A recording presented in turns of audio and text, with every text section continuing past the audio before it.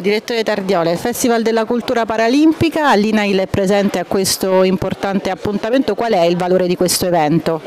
L'INAIL non poteva mancare perché da molti anni per INAIL la collaborazione col Comitato Paralimpico è una delle